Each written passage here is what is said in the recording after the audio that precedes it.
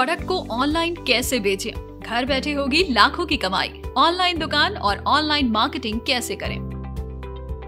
वर्तमान में ऑनलाइन कारोबार को अधिक बढ़ावा मिल रहा है। दरअसल भागदौड़ भरी इस दुनिया में हर कोई अपना काम आसान से आसान तरीकों से करना चाहता है।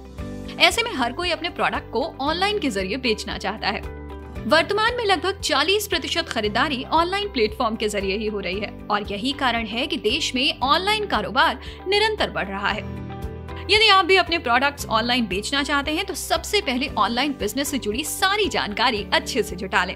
ताकि जब आप ऑनलाइन कारोबार शुरू करें तो आपको भविष्य में किसी भी तरह के नुकसान का सामना ना करना पड़े।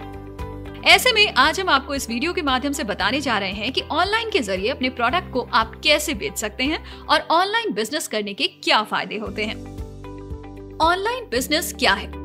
बता दें ऑनलाइन बिज़नेस यानी कि अपने किसी प्रोडक्ट को बेचना, सामान का ऑर्डर प्राप्त करना इत्यादि, सभी काम ऑनलाइन ही हो जाता है।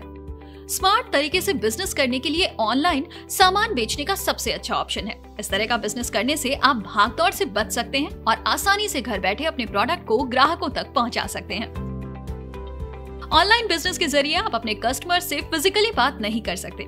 बल्कि आप अपनी किसी वेबसाइट या फिर एडवर्टीजमेंट के ज़रिए ग्राहक को अपने प्रोडक्ट बेच देते हैं।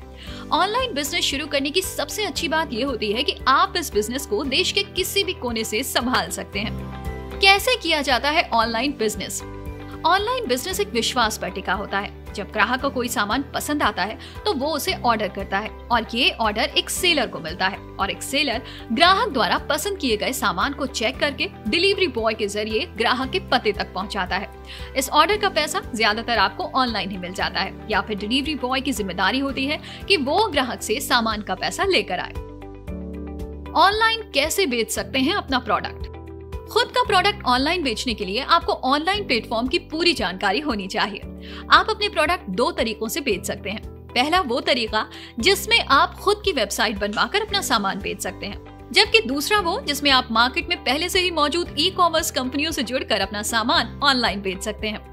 पहले विकल्प में आपको खुद की वेबसाइट तैयार करवानी होगी, जिसमें आपको काफ़ी मशक्कत करनी पड़ सकती है और इसमें पैसे भी अधिक खर्च होते हैं, जबकि दूसरे विकल्प में आप सीधे तौर से ई कॉमर्स कंपनी से जुड़ जाएँगे और आसानी से अपने प्रोडक्ट बेच पाएँगे। ऑनलाइन बिज़नेस शुरू करने से पहले ध्यान रखें ये खास बातें। ऑनलाइन बिज़नेस शुरू करने से पहले आप जीएसटी रजिस्ट्रेशन ज़रूर करवा लें। इसके अलावा कंप्यूटर की सही जानकारी रखें ताकि आपको अपना बिज़नेस करने में कोई परेशानी ना आए। आप ऑनलाइन हिसाब किताब रखने का भी पूरी तरीके से ध्यान रखें। अपने सामान के बारे में सही से सही जानकारी देने की कोशिश करें और सही कीमत तय करें। आप चाहे तो एक साथ कई वेबसाइट पर अपने प्रोडक्ट सेल कर सकते हैं। आपको इंटरनेट बैंकिंग की भी अच्छी जानकारी होनी चाहिए। अपने प्रोडक्ट का लेखा जोखा इस पर अधिक ध्यान दें, ताकि आप ग्राहक तक सही सामान पहुँचा सकें। अपने प्रोडक्ट की पूरी ज़िम्मेदारी एक सेलर पर होती है। ऐसे में आप प्रोडक्ट के बारे में ग्राहक को सही जानकारी दें, ताकि ग्राहक आपके द्वारा बेचे गए सामान से संतुष्ट रहे। आप हमेशा अपने ग्राहक की पसंद के अनुसार प्रोडक्ट सेल करें। इसके अलावा आप समय समय पर ऑनलाइन साइट पर ऐसे प्रोडक्ट डालें, जिन्हें ग्राहकों द्वारा अधिक पसंद किया जाता है और जिनकी बिक्री जल्द से जल्द हो जाती है। ऑनलाइन प्रोडक्ट डालते समय आप इस बात का विशेष ध्यान रखें कि आप उस प्रोडक्ट का मूल्य अधिक ना बढ़ा दें। क्योंकि अगर आपके प्रोडक्ट की कीमत मार्केट कीमत से अधिक होगी तो ग्राहक आपके प्रोडक्ट लेने से कतराएगा। साथ ही वो सामान कहीं और से खरीद लेगा।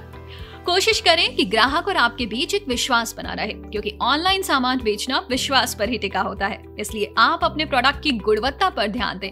उसे ग्राहक तक सही समय पर पहुँचाने की कोशिश करें और प्रोडक्ट किसी भी तरह से खराब ना हो, इसका प्रबंध करें।